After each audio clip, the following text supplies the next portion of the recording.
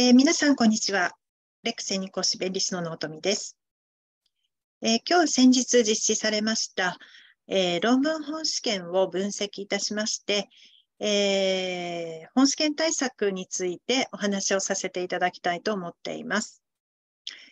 え今年もですね、え論文本試が行われまして、まあ、あの受けられた方、えー、まあ、受けられなかった方ですね、いろんな方があのこの動画をですね、えー、見ていただいていると思うんですけれども、えー、まずですね、え今年の本試験ですね、え例年に比べてそのびっくり度がね、あんまりなかったなというふうに、えーと、私は感じています。毎年、ちょっとこう、あっというような問題があったりとか、あのびっくりするようなね、判例が出たりとか、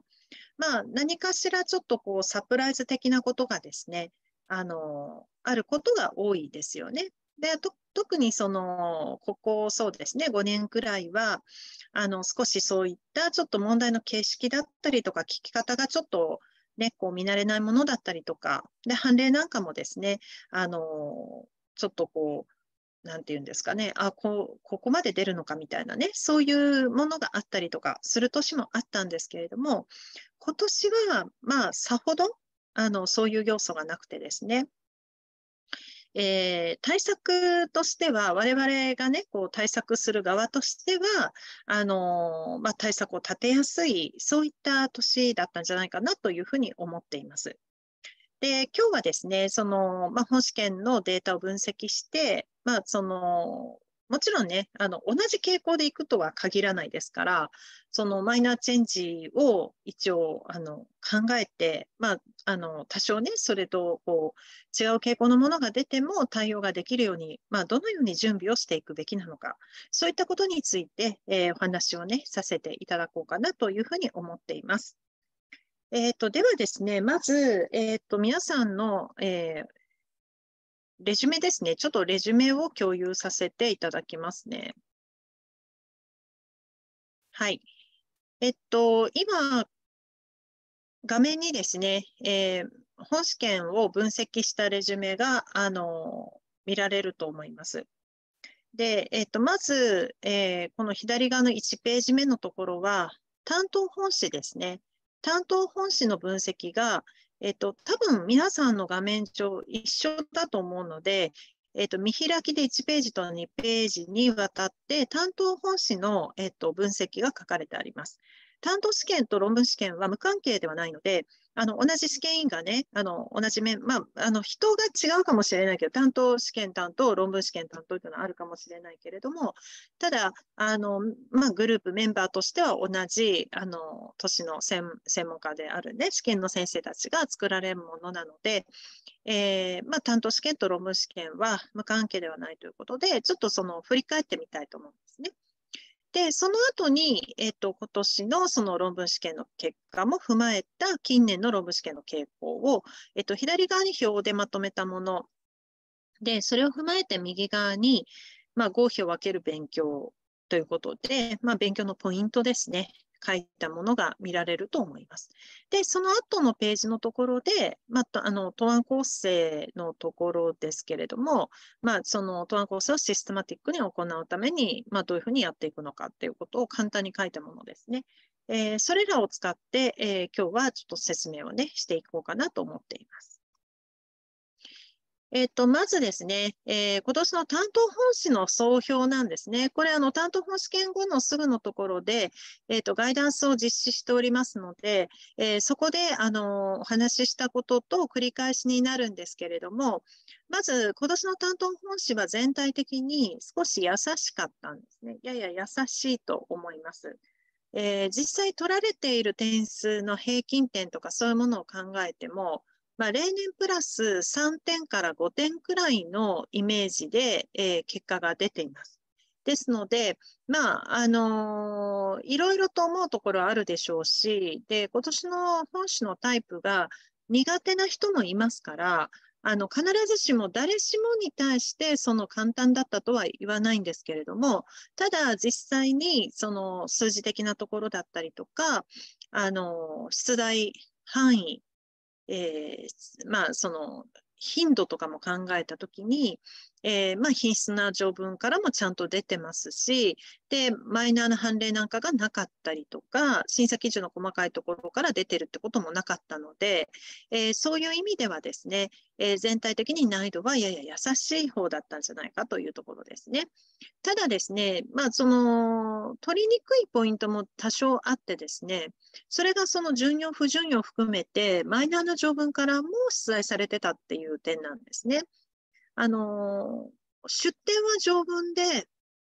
ほぼ条文で、条文をしっかりとその理解し、インプットしていればですね、あの、いろんなものをこう手つけてやる必要はなかったんですけれども、ただ、その準用不準用も含めて、その細かいところから出てたというところは、あの、一つ特徴だったかなと思っています。ですので、まあ、そこまでちゃんと条文読み込むというところが、あの、できてないとね、今年の問題なんかはあの難しく感じたんじゃないかなというのがあります。で、あと、その出題形式ですよね。えー、まあ、そのいわゆる誤詞択一とか個数問題以外に、組み合わせ問題、あと穴埋め問題ですね。こういった問題も出ていたので、そういうちょっと形式が様々見られたっていう点も今年の、まあ、本誌の特徴だったかなと思います。ただ、そのいろんな形式が見られることが難しいわけではなくて、あの、組み合わせ問題や穴埋めっていうのはどちらかというと、あの、まあ、ちょっと難易度が下がるんですね。やっぱりコス問題が一番難しくて、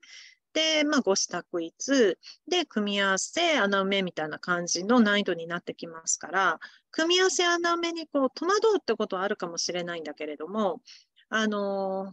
まあ、その、難しいかって言われたら、そうではないとていうとこですね。で、科目ごとの一応公表なんですけれども、あの、私はその担当本誌後の分析会のところでは衣装商標ですね、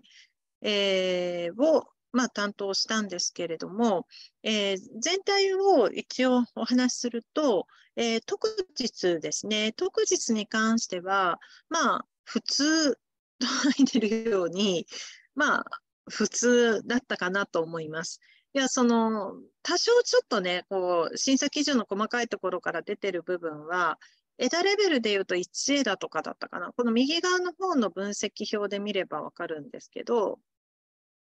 えっと、2A だかな。特日、審査基準、敏乱法。まあ、ただ、審査基準で 2A だじゃなかったと思うんで、まあ、そんなレベルですよ。要は2枝レベル、2問じゃないから。2枝レベルだから。だから、まあそこはあまり難しかったよっていう理由にはならないですよね。ただ、あの、出題条文の広さがやっぱり見られて、まあ、本当にいろんな条文から出てたっていう傾向があったので、まあそこはね、やっぱりその偏った条文しか見てないとかっていうことになると、難しさを感じたと思います。で、あとその難しい問題と簡単な問題との差がすごいあるなと思ってて、だからその簡単な問題で落とすようだとちょっとね、難しい問題で落とす割合もやっぱり考えなきゃいけないから、あの、点数がやっぱり伸びなかったと思うんですけど、簡単な問題、本当に簡単な問題もあったので、まあそういうところでしっかり取れたかなっていうところが、そのまあ合否の分かれ目になったのかなと思います。で、えっ、ー、と、まあ、この表をちょっと見ていただくと、コス問題がまあ55%ですよね。11個。まあ、そうでもないですよね。で、択一がまあ一応7個ですけど、でもその他っていうのが、その個数問題ほどの難易度がない。どちらかというとさっき言ったように簡単なもの、穴埋めとか組み合わせだから、そう考えると択一と合わせると9問だから、まあ、そんなに特日際立って、その難しかったはずはないんですね。で、判例が、まあ、あの枝レベルですけど、2枝出てますよね。で、これもあの非常に有名なあのアースベルトだったりとか、そういったあのもう本当に皆さんが普通に勉強してれば知らないはずがないであろうものしか出てないので、えー、まあ、そんな問題じゃなかったので、まあ、全体としてちょっと変な問題っていうか、まあ、奇抜なもん、変な問題って試験の先生怒られるかな。あの、まあ、ちょっとおっていうような問題もありましたけど、だけどね、その講師間でその速報会で意見が割れるほどではなかったので、まあ問題ないかなと思ってます。で、次に衣装法ですね。衣装法はもう完全に優しいっていう感じですね。優しいですよね。で、あの、特許から出してもいいよねっていうような共通するテーマが最近は出るよっていうふうに伝えてますよね。だから、その衣装が苦手っていうのは特許が苦手なところから来てるっていうところも最近の傾向としてはあって、だ特許が得意だと衣装も得意だし、衣装だけをやっててもやっぱりそのいけないので、衣装は特許とその連動して考えると。いうところができていれば、あの、全然その問題ないかなと思ってます。で、衣装法特有のところもそんなに、あの、問題文が長いとかそういうのは多少ありましたけれども、でもそんなに、あの、難しい感じではなかったので、まあいいかなという感じですね。まあ、ジュネーブだっていろんな、あの、なんていうか、こう、設問にまたがって、何点も何点も落とすっていうようだとね、ちょっと一生法の難易度はぐって上がるんだけれども、そうではなかったので、まあそんなに、あの、厳しくなかったかなという感じですね。だからまあ、総じて優しいって感じです。で、商標がやっぱりこう、私も何もつけたんですけれども、あのなんて言うんですかね、その、宮口先生は商標、えっと、まあ、そんな、なんか、点数取れちゃうから、その、なんかその、まあ、難しそうに見えるんだけど、難しくないみたいな感じの、あの、表現をね、されていたと思うんですよ。で、私の表現はちょっとそ、あの、多分ね、根本的なところ同じかもしれないんだけど、私の表現はちょっとそうではなくて、あの、条文をね、こう、暗記するような勉強をしてる感じだと、多分取れないよねって問題だったんですよ。要はあの、条文の文言を聞いてますとか、例えば審査基準で、その40項10号の周知性っていうのは国内周知が必要なんですよ。外国だけの周知じゃダメですよとかっていうのも、その、まあ、審査基準マターですよね。で、まあ、そういうのってバッとこう、審査基準を知ってるかどうかだけの問題じゃないですか。だから、その、審査基準を知ってるから解ける条文の細かい文言、例えば使用の内容とかそういうのを知ってるから解ける。ね。例えば、418で、その著名性がかかる部分を知ってるから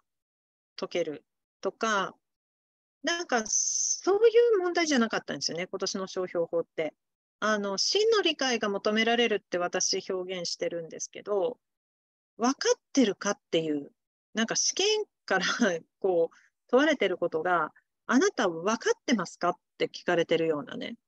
なんかそんな感じ、その覚えてますかとか知ってますかじゃなくて、分かってますかっていう、なんかそういう感じの問題だったなと思うんです。で、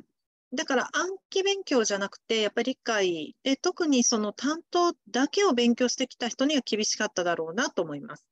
あの論文の勉強すればなんてことないんですよね。その商標たるものはっていうか、その商標とはっていうかね、その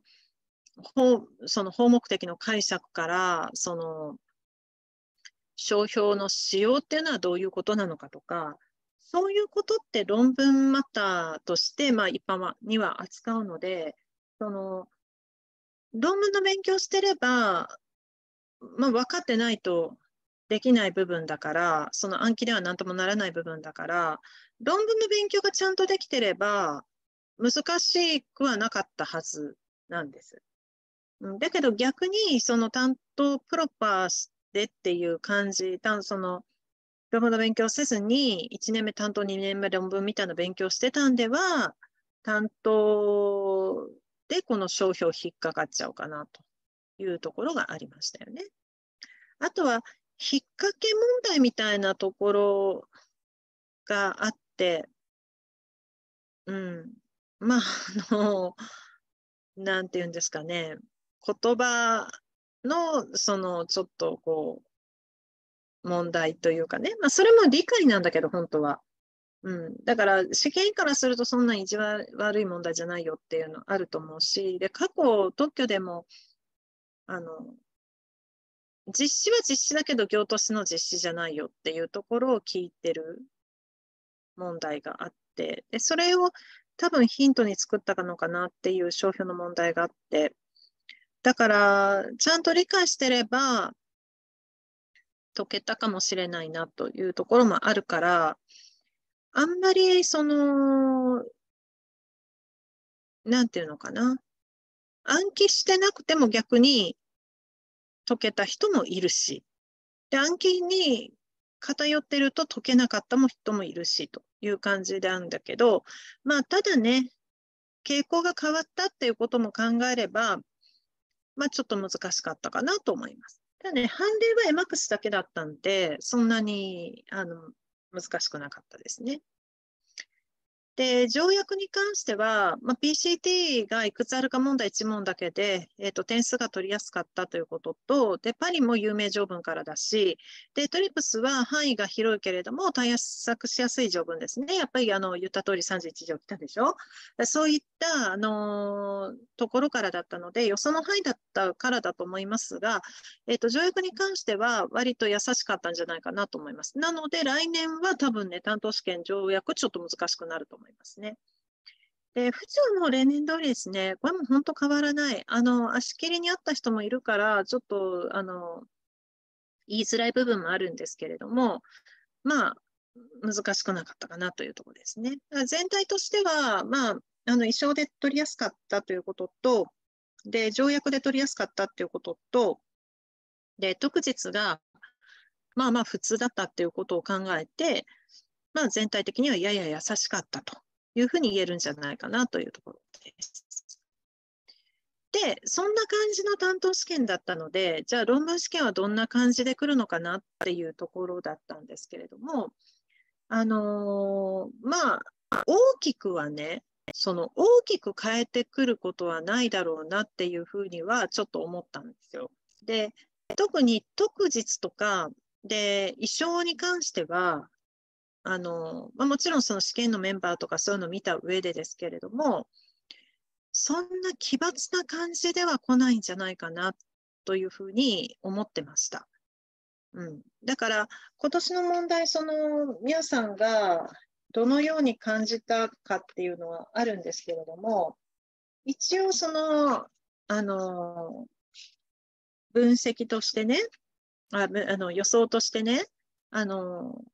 国際出願は出るよっても山当てでも言ってるわけですよね。山当て講座で国際出願は出ますよってはっきり多分言ったはずなんですよ。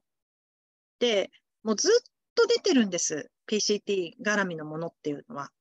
で、それプラス、まあ、その年によってどの特例をこう組み合わせてくるかとかね。で、まあ、特例じゃなくても本当にもう移行手続きで、まあ、今年もそうですけど、移行手続きなんかはもう毎年毎年出てる感じだし、で、もっとその国際出願、まあ、ぽいというかね、あの、国際段階のことをダイレクトに聞いてくる年もあったし、今までだって。だから、特日の1問目は、もう十分に予想の範囲だったと思うんです。あの、もちろん多少その、なんて言うんですかね、あの、微妙に解きにくい問題もあったとは思うんですけど、あの、在外者に特許管理がいない場合、設問、問題1の設問1の設問3、括弧3なんかだとね、全然違うこと書いてる人なんかも、今まだちょっと再現とは数枚なんですけど、あの、今ね、6通ぐらいかな、見たんですけど、まあ、全然関係ないこと書いてるよっていうのもパラパラあるんですが、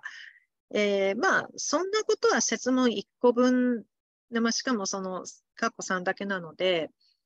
それが致命的になることはないです。で、1人だけじゃないので。今5分、5、6枚、えっと、1、2、3、4、5、6、6枚かな、あるんだけど、あの、一人だけじゃないですね。その、そこできてないのはね。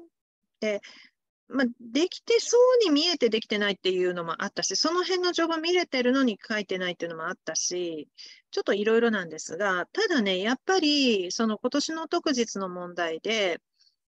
やっぱりできないといけないよねっていうのは、設問1のところですね。あについて、いについてもそうだし、で、あと、えっと、移行手続きとか、あの、やはの11のところとか、まあ、その効果のところとか、そういうところは繰り返し答練でも出てきてるし、論文の機関講座でもやってきてるところなので、この辺がやっぱりしっかりとかけてこないと、うん、ちょっと難しいよねっていうふうに思います。で、問題2の方だと、まあ、いわゆるその試験研究のとこですよね。で、まあ、あの延長に関しては私も山にあの貼ってましたけれども、まあ、一回は書いたことがあるかなっていう試験の解釈のところですね。あの、膵臓疾患治療剤事件のところですから、まあ、そんなに奇抜な感じはないし。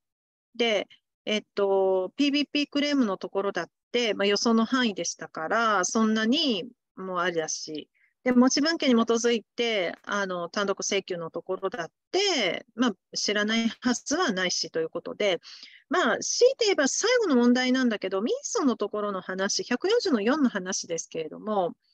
ここは、あの、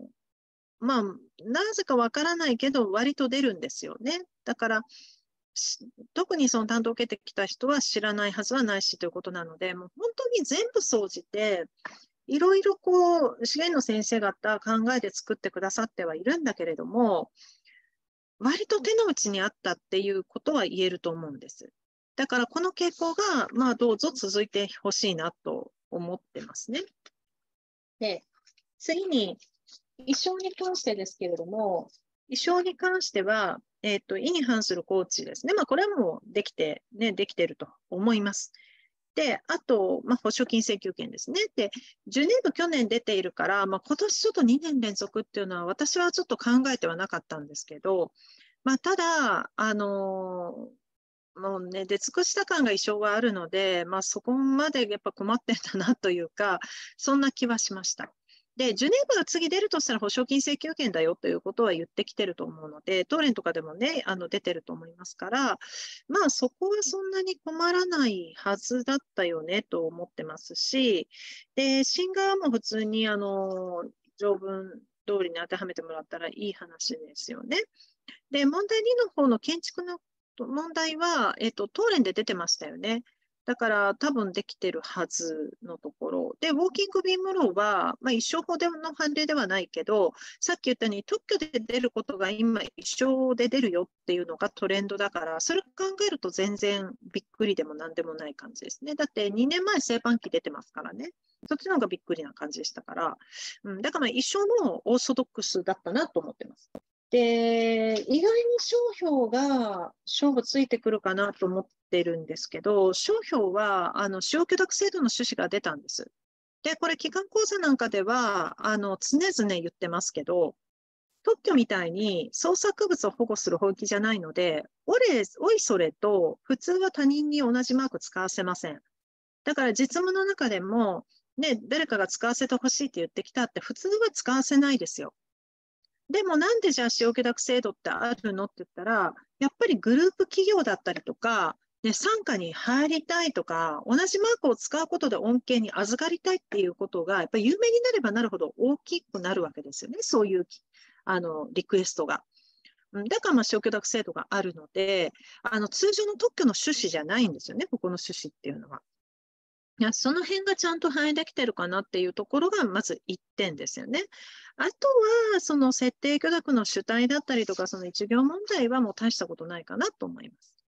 で、私が合否が意外にこう決まってくるなと思ってるのは、そっち使用許諾の方の一行問題ではなくて、えー、2問目の方ですね。無効審判と、あと取り消し審判のところかなと思います。無効審判は、あの、10号で決まりなんですよ。だから15、15、19はいかないんですよね。で、その15、19もフラットにっていうことになるとちょっと分かってないよねって感じになっちゃうし、で、あとは、やっぱり抗がん線登録だから8条1個持ってこなきゃいけないのに、41、11を持ってきてるってことになると、ちょっと厳しいなっていうふうに思います。で、あと取り消し審判は選べたんじゃないかなと思うんですけど、53条ですよね。うん、53条の取り消し審判を選べたはいいけど、ちゃんと要件の検討ができたかなっていうところも、やっぱり商標なんでね、これ特許だともうとにかく時間内に収めて、ね、丸く収めてくださいって話なんだけれど、衣装消費はそうはいかないので、みんな時間があるから、やっぱある程度ちゃんと丁寧に書かなきゃいけないんですね。ですから、そのあたりがやっぱりそのできたかなっていうところが勝負になるかなと思います。で、そうすると今年の本誌を踏まえて、まあ、どういうふうに勉強していくのかっていうことですが、えーと、まず、えー、レジュメのその合否を分ける勉強法っていうところにあるように、えーと、論述力より処理能力って書いてあります。うん、あの今の本試験っていうのは割と一問一答的な問題が多い。そうじゃなければあと措置問題とかになるので自分で文章力を披露するみたいな場なんていうのはないんですよ、はっきり言うと。だから、その、間違わないことと、ちゃんと説明しきることが大事で、説明し尽くすっていうのは要件漏らさないとかそういうことですよね。ですから、その論述力なんていうのは、まあ、はっきり言っていらないですよ、今の本誌で。特に特日の対策なんていうのは、もう処理能力ですよ。問題文長くて、で多くの問題に解き切るという能力ですよね。で、そのためには、やっぱり知識量をきちんと増やす。で、その知識はちゃんと理解したものである必要があります。担当の点数が高いほど、今の本誌は論文の通過率が高くなるのは、その裏付けですよ。うん、ですから、やっぱり知識をきちんと確実にしていくってことが大事。で、もう一つはやっぱりパッパパッパ処理していくためには、やっぱりそのパターンを身につけることですね。いろんなものが出るわけでは今はなくてですね、もう本当にその一行問題なのか、ね、事案解決、まあ、事案解決の拒絶理由を見つけていくような問題ね。で、3つ目に措置問題で、4つ目に論述、まあ、判例が含まれます。で、5つ目に手続きの流れを書く問題。今回これは出なかったけど、最後の問題は。だけど、その4つのパターンで、この、えっと、共有している今のこのレジュメの3ページにあるようにですね、大体ここにこうこうまたがるわけだから、やっぱりそのパターンですね、これはどのパターンなのかってことで、やっぱり処理の仕方っていうのが変わってくるから、それをしっかりと身につけるってことが大事だと思います。で、2つ目に、やっぱり過去問の使い方かなと思うんですよね。なんかあの、担当の対策もそうなんですけど、過去問の使い方がどうも違うよねという人がやっぱり多くいて、あの過去問っていうのは、あのインプットツールではないんですよね。あくまでもアウトプットツールなんですよ。だから、他の試験集がどうであろうとも、弁理士試験では過去問学習がそのまま得点にはつながりません。ですから、あの学習したことがちゃんとあの身についてるかってことを、まあ、こうやすところどころで確認する必要があるというところも教材に使うということと、であとはやっぱりその、あの、大白何を聞いてるのかっていうのが、通るよりも本誌の問題の方がちょっとこうぼやっとしてて聞きづらい、解きづらいっていうところがあるから、そういう練習で使うということであって、まあ、担当でも論文でもそうなんだけど、インプットじゃないから、ちょっとその使い方を間違わないようにっていうところがポイントとしてあるかなと思います。で、えっ、ー、と、論文対策として特に必要なことなんですけれども、あの、まあ、一言で言うとね、楽は苦の種、苦は楽の種っていうふうに書きました。で、これはどういうことかっていうと、あの、論文は準備がものを言うってことなんです。あの、このなんかことわざというか格言みたいなものって意味わかりますかね？あの、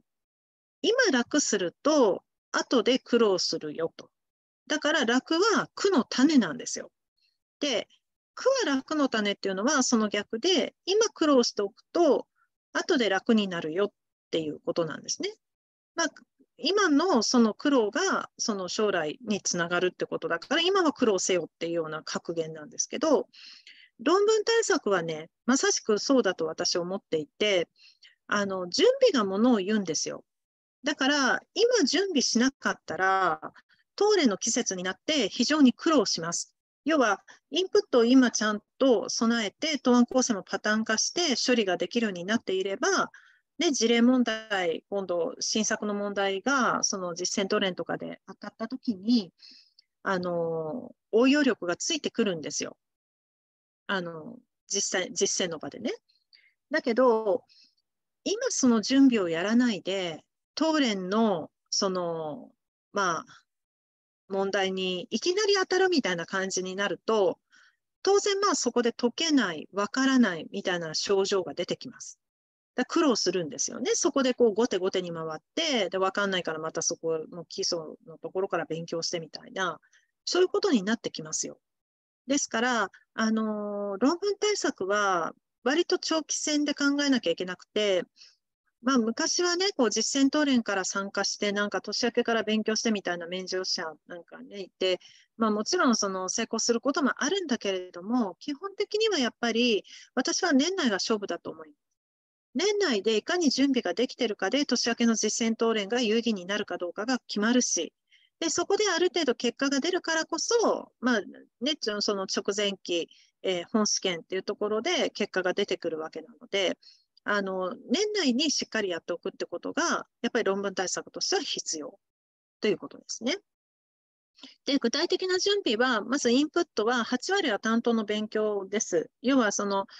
担当点数が、ね、高いほどあの論文の通過率が高いわけだから、やっぱり最低でも43点。私はベーシックのクラスでは45点と言っています。で、その中でも当然4法8割取ってくる。論文で使っていくのは4法が中心なわけだから、あの条約が絡むぐらいなので、やっぱりもうそこも限られてるしね。で、論文プロパーのその2割の勉強、まあ、つまり趣旨とか判例の勉強っていうのは、あの慌てる必要はないです。担当とちょっとそこはあの重ならない部分が多いから、あんまり慌てる必要はなくて、まずは担当の勉強をしっかりすること。それが論文対策になるということをあの忘れないでください。趣旨ばっかりやったってね、せ,、まあ、せいぜいそんな1問ですよ。出たってね。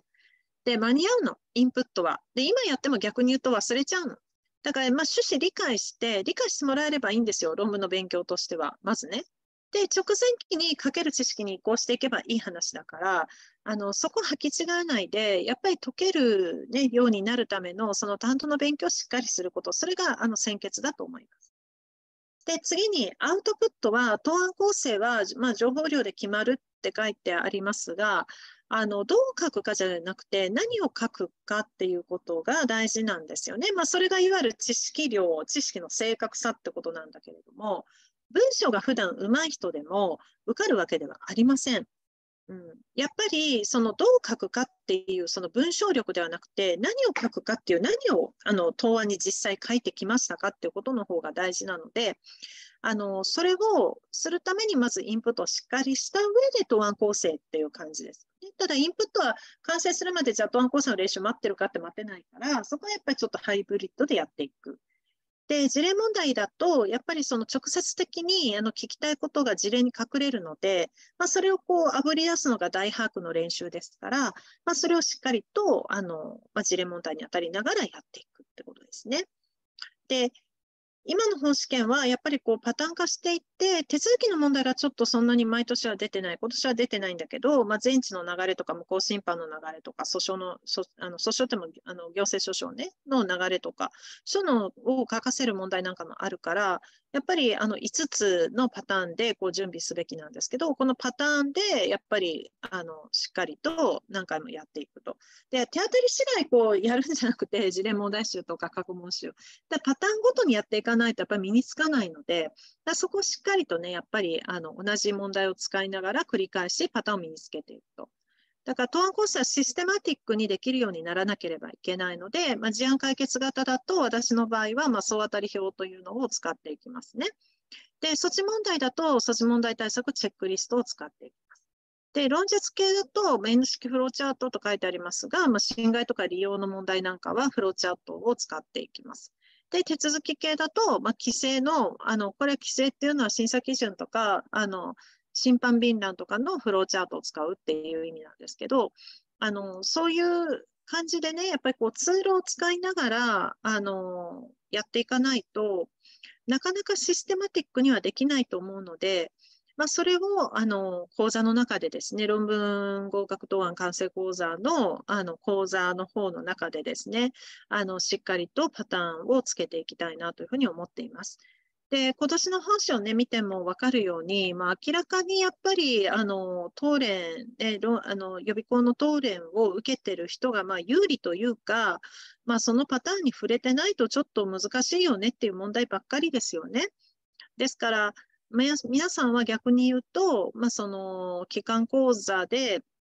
あの、しっかりやれば、本誌に直結するような、そういう、あの、勉強につながってこれるので、もうこれも傾向として明らかだと思うので、あの、しっかりね、出席して、通信の方は受講して、あの、ついてきていただければ、結果は、あの、出てくるかなというふうに、えっ、ー、と、信じています。はい。では、あの、論文の開講もですね、えっ、ー、と、間もなくということになりますので、えー、皆さんと、えー、またですね、お会いできるのを楽しみにしております。えー、以上です。